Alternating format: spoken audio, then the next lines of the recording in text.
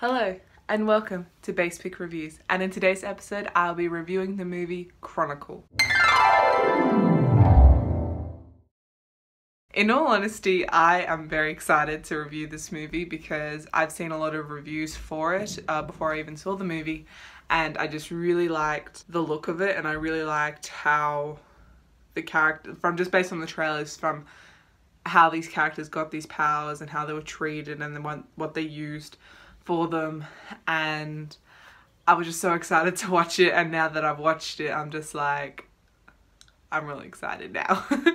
so here we go. The plot. I found the plot very believable. Uh, if you obviously if you minus the whole finding like an asteroid or something in the ground which gives them telekinesis, I really liked how you you felt sorry for pretty much all the characters except for the kind of popular one but you felt bad for the kind of villain in it. Who he kind of became the villain the one that went on like a town rampage and pretty much destroyed everything. And you also felt bad for his cousin because his cousin did try to you know become friends with him and try to talk to him and stuff and the other guy just kind of didn't but i thought the plot was very good i thought it was very believable the acting, not gonna lie, I thought the acting was amazing. I really, really liked how each of them made the script even more believable. How it was almost like there wasn't a script given. That's a bit more when I talk about the script, but as far as the acting goes, it was so good in how you really believed that this is what these people were saying and you really believed that this was actually happening to them and it was just overall really good. Like when one of them dies you really feel for them and you really feel for the others.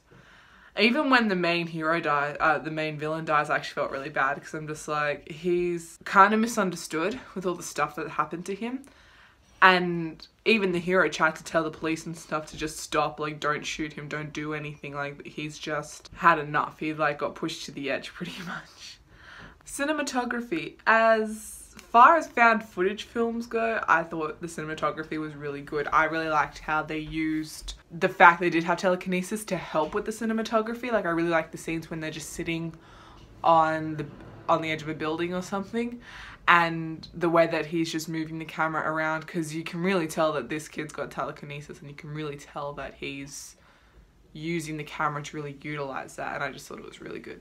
Casting. I thought the casting was pretty good. Uh, all three characters were very memorable. I and the thing I also liked was even though these three people obviously were doing shows and stuff beforehand, how do I say it, it wasn't like you were watching celebrities kind of read lines. Like sometimes when I watch a movie or even listen to like a Disney movie and you hear the voices, you're kind of like, oh, that's that celebrity. Oh, that's that celebrity this wasn't like that. It was honestly like these kids could pass as like college kids. Uh, I think that's supposed to be in high school. They didn't look like they're in high school. That's the only thing I will say about it.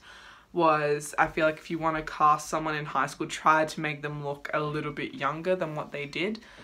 Uh, in all honesty, I thought these kids were in college, but when I found out they're in high school, I'm like, they could pass as seniors, but at the same time, it's kind of like, nah, they look more like they're in college, but that's a very minor thing I have. Script. A lot like the plot and the acting, I found it very believable. It really boils down to the script. I thought it was so believable. I thought there almost wasn't one given and I really love movies when it's almost like a script isn't given because it's so real, it's so genuine, it's honestly how these people would act.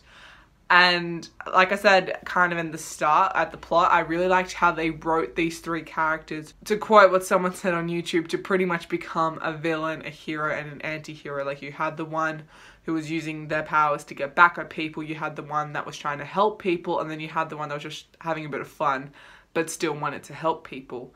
And I feel like everyone would go through all that. Like I feel like if you had telekinesis and people have done you wrong, you would more than likely try to get back at them You'd also use it to have a bit of fun with people, but then you would probably just try to help people.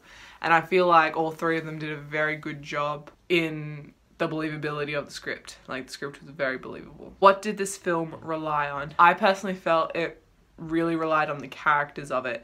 It made you feel for the characters. It made you feel really bad when one of them died. It feel it hell. I even felt bad when the hero, the villain died, uh, just because he was just going through so much and he pretty much just threw like a giant temper tantrum.